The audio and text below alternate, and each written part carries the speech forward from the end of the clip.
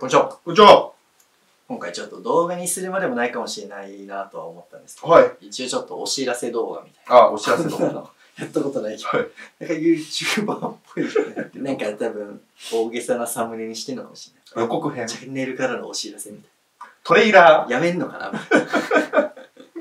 今回ちょっと2つお知らせがありまして、一つはちょっと本格的にうんリクエスト企画を1本やりたいなと。と。はい。まあ、あの今までクリストファー・ノーランだったり、うんデビッド・フィンチャーだったり、うんダニエル・クレイグだったり、超、ろ監督とか俳優の特集をね、はい。やってきました。深掘り企うちなりにはいちゃんと調べたり、うん用意してそれを話すっていうので見ていただいて、まあそれで登録してくださった方も結構いると思うんですけ画。ど、はい。まあ三谷君結構視聴者としてちゃんと見てくれてるじゃないですかそうですね。印象的だったのとかあります？僕はめっちゃやっぱおもろかったのは、フィンチャーはやっぱすげえ好きでしたね。ああ出てきうん。ました、フィンチャーがすげえためになったしはい、はいその視点でもう一回見ようかなっていうふうなすげえ思いましたね。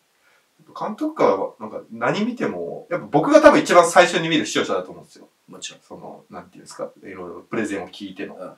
俺もうだって動画で撮影してる時はもう飽きてるからさ もう知りすぎてるから。もう考えすぎて見すぎてるからでもやっぱ一番好きな監督っていうのもあったし、デビッド・フィンチャーすげえ面白かったなっていうふうに思いますね。やっぱマニアックなことを取り上げるわけじゃないですか、ううんちのチャンネルはだから結構新作が公開されるタイミングとか、うん。一応ね、うん。そのなんか別にめちゃめちゃ回ってほしいと思ってるわけじゃないんだよ、うん。正直 YouTuber でも作って一生懸命作ったのを興味がある人には見てもらいたいぐらいの気持ちなんだけど、だからやっぱ新作が公開される例えば、オッペンハイマーが公開されるからクリストファー・ノーランをやるっていうそのなんか公開タイミングが検索されるタイミングでうん。取り上げるっていうのが多分自然でやっぱそれで結構さ企画というかそうですね。本当は好きな監督とか俳優とかができてない状況とかもあるし、まあ、視聴者の方でいやこの人のを見てみたいなっていうのをね、うん。普通にもうそれ関係なくコメントで書いてくれてそれを元にちょっと調べたりとかうん。見たりとか2人で話してこれいいじゃんっていうのをちょっと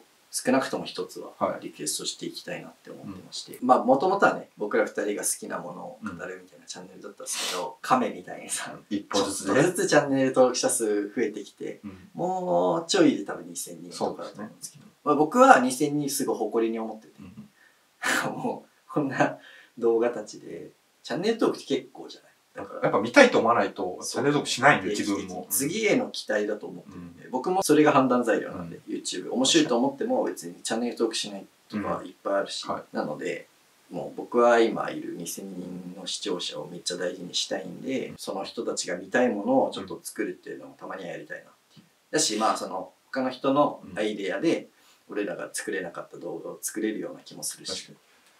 別に監督とかじゃなくてもね。俳優でもいいですし、うんあと作品とかでもいいですしね。プロデュースでもいいです、うんジェリー・ブラックアイもやってくださいとかキャスリーン・ケネディやってくださいとかね。作曲家とかでもいいかも。あー確かにエンニオ・モリコーネあー弾いたりすとかね。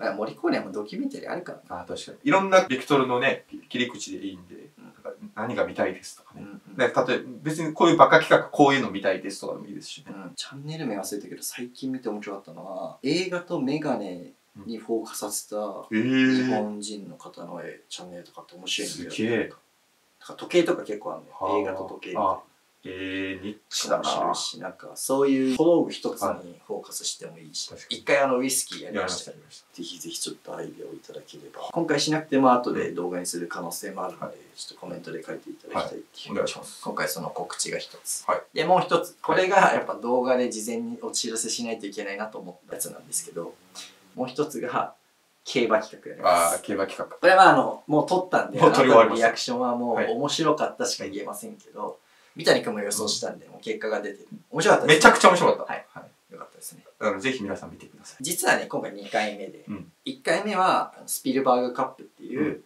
スティーブン・スピルバーグを継ぐ者は誰かうん。最も稼いだ映画監督は誰かっていうのでレースをしていて今回今多分見たことない方に向けて概要欄にリンクを貼ってるので、どういう動画かっていうのはうんこの後見てほしいんですけど、なぜ今回告知するのかというと、はい。えーぜひリアルタイムで見ていただきたい。うん。プレミア公開で見ていただきたいということで、プレミア公開の、うん。えっと、応募期間の間、うん。レースが出走するまでの間に。コメントをしてもらうと。そうそうそうそう、でまあ今回何を当てるかは動画を見てからちゃんと知ってほしいんです。プレゼント企画になってます。はい。ちなみに。で当たった3連単を予想して、うん。当たった人にはプレゼントをするっていう、まあ、それも動画で説明してるので、うん。ぜひプレミア公開です。そうですね。この多分今画面上に映ってる画面に出てます。あのあの、皆さんが見やすい時間かなと思って。何月何日の何時からプレミア公開しますっていうのが今多分画面に映ってると思う出てので、るので、その時間、もしよろしければ、はい、お時間があれ多ば、分2、30分はい、の動画だと思うんでしすけど、てい。ただいてコメントをカタカタカタって言ったら、なんかプレゼントが当たるかもしれませんっていうことですね。でもまあ、なんか自分で言うのもあれだけど、プレゼント当たんなくても、結構いやめちゃくちゃ面白かった。興奮する。うん。企画なので、はい。ちょっとぜひ見、まあ間に合わなかったとしても後で見ていただいてもうん面白い動画にはもちろん作ろうとは思っているので。っていうね、なんだこの動画。トレーラーですございます。ということで、ぜひコメントお待ちしております。はいで、プレミア公開もぜひ、はいお時間合えば見ていただければと思います。今回すいません、こういう中身のないやつ。はいちょっと、でも事前にね、ちょっそうです。とお出しする必要があったので、はい。ちょっとお願いできればと思っています。では、面白いと思ったらいいね、コメント、チャンネル登録、よろしくお願いします。では、シネマファストクラブでした。バイバイ。